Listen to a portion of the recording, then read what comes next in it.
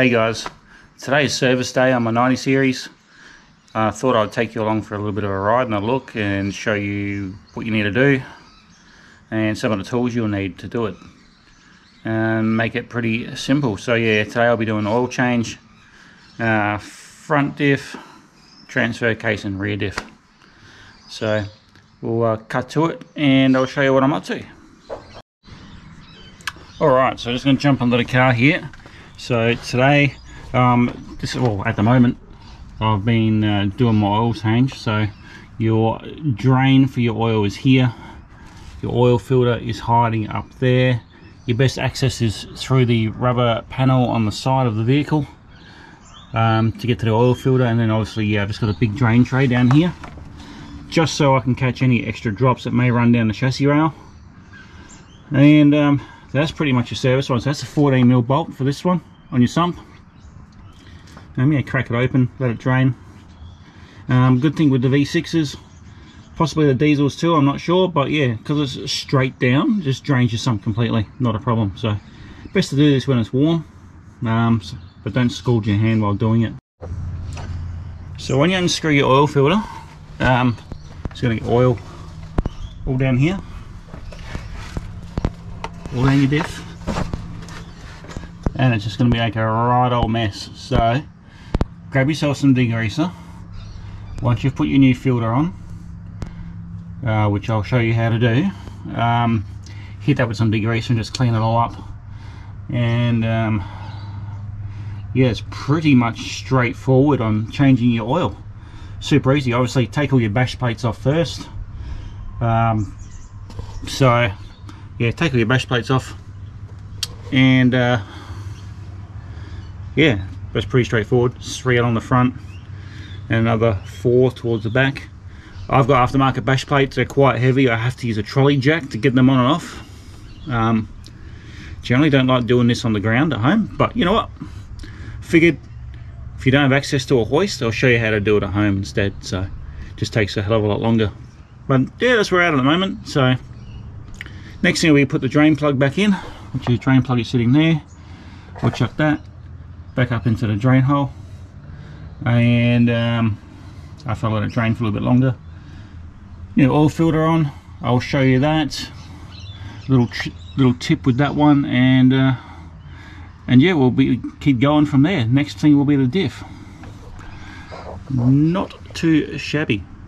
Okay so the next thing is to grab your sump plug make sure it has a washer on it mine does Mine's not a crush washer, it's just an aluminium washer, so I keep reusing it. Probably not meant to, but eh, hasn't leaked yet. So, with that one, work it back in the hole.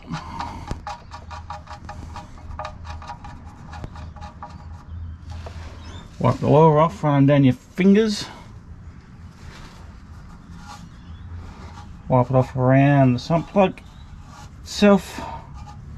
Grab your 14 mil ratchet. Just nip it up. Don't overdo it guys. It will get hard to undo. Um, so yeah that's it for your sump plug. It's pretty straightforward.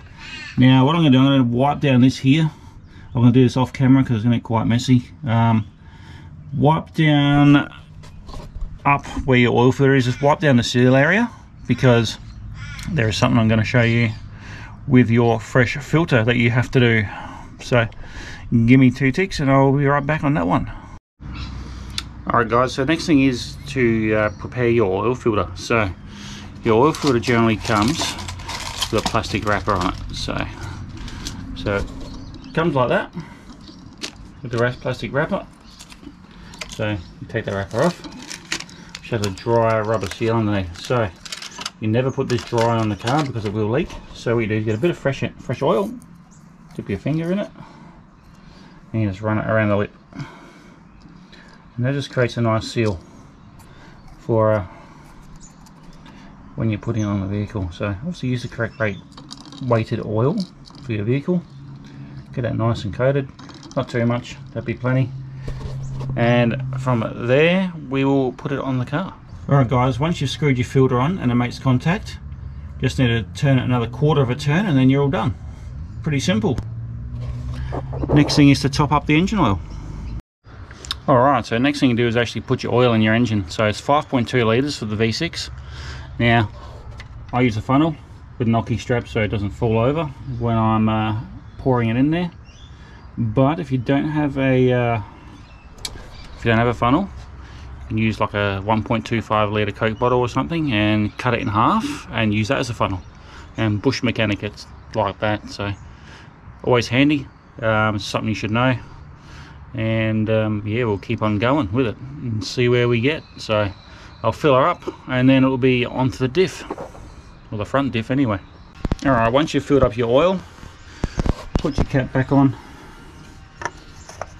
Make sure it's tight don't want to lose it.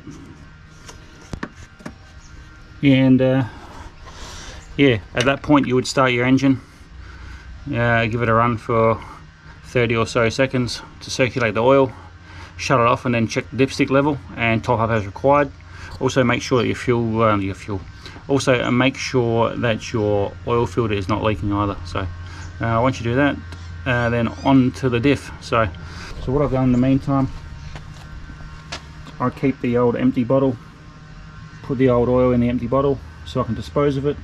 Had a spare one because I knew that wasn't going to be enough so yeah keep your empty bottles guys and dispose of them at either like Supercheap or something like that. I know they have oil disposal I think anyway so um, yeah from there it's just a matter of uh, doing a diff now so we'll get under there and I'll show you what spots are what and the oil is required for front diff transfer case and rear diff.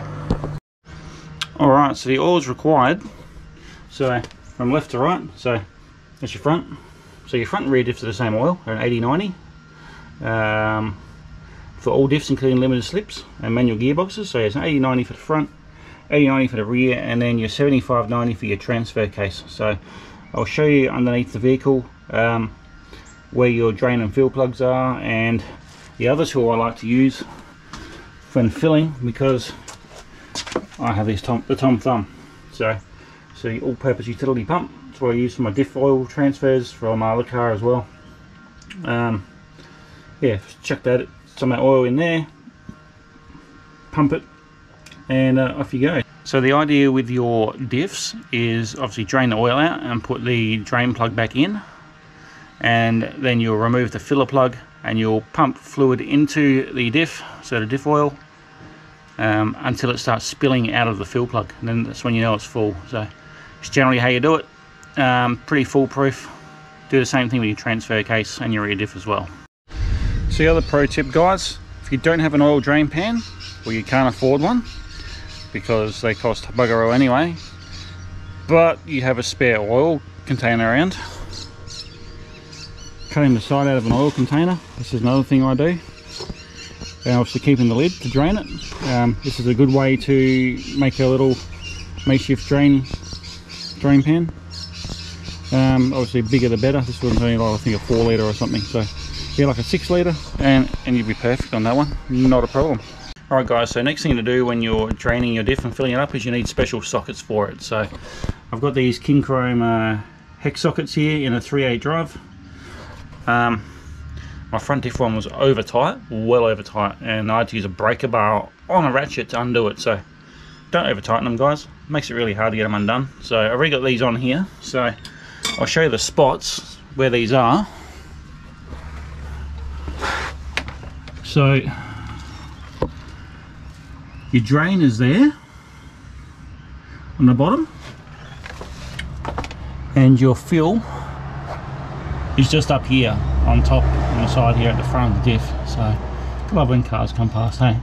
So yeah so drain is on the bottom there and uh, the filler is there. I've already got them sitting in there. Alright so I'm going to drain the diff now and I'll show you the tom thumb and how all that works. I've already filled it up ready to go so um, yeah I'll get this all happening and uh, back with you in a while. Alright, so I've done the front diff. Didn't really film it because it was a bit noisy around here, but I'll show you. So, just up in here is the filler. So, the little Tom Thumb has a hook here, So you just hook that part up into there and pump it up until it starts spilling out. And then, then you're all good to go. So it's like 1.1 litres or something. So just make sure everything's hooked back up and uh, and you're good to go. So I'm going to stop for some lunch and I'll be back. Alright guys, back from some lunch, so I'm just going to do a quick visual inspection on the front end here, make sure none of the uh, drain plugs are leaking, and then we're going to make our way up to the back of the car and we are going to change the rear diff oil.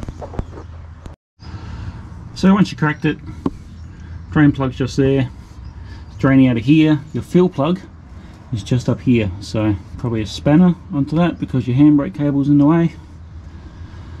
Um, I have a feeling that's probably a 24 mil too. Check it out. Hopefully I don't drop it in there. Yeah, it's a 24 mil as well. So 24 mil socket for the bottom on a breaker bar I had to then, and a 24 mil spanner up the top there. And uh, that should get that out of there, and uh, should be good to go. Now we just need to do what we did with the front one. Put the hook in for the tom thumb, and uh, once we obviously once we put the drain plug in and pump it up till it starts leaking out and then put the drain fuel plug back in. And you're all good to go. Alright guys so I've drained the diff which is fine. It's all good. And now what you do is you get the little pump hook on the tom thumb. Push that in a bit hard. Just one-handed you grab that put that up in here. And you just pump away until it starts spilling out. Pretty easy. Alright so the Nightmare 90 has been fighting me this whole time. Um, the Tom Thumb decided to stop working and seize up. So this one has uh, gone a bit of an angle. Tops come off so it's about four years old anyway.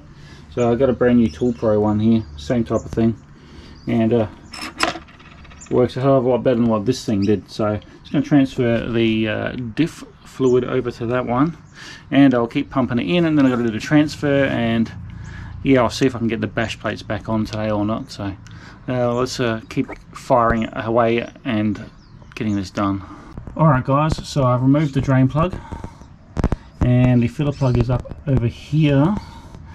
So that's the next thing. I refit the drain plug and fill up the transfer case. Didn't look too dirty actually. Uh, it was not too bad. So same deal. Um, use the pump and uh, fill it up. So new pump is so much better than that old thing. The old thing was horrible. So anyway, I'll get on to that one and then it's pretty well done. Um, got to do something about this though. And can't get this bottom bolter out of here. This one it's very tight need some power tools and alright guys so all the oil change is done. Now it's just a matter of taking it down to the car wash and giving it a degrease underneath. And I'll put the bash plates back on tomorrow and uh, then we'll be done. So success and uh, yeah super easy guys. Um, if you have any questions leave them down in the comments and I'll be sure to answer them Take care, and I'll catch you in the next one.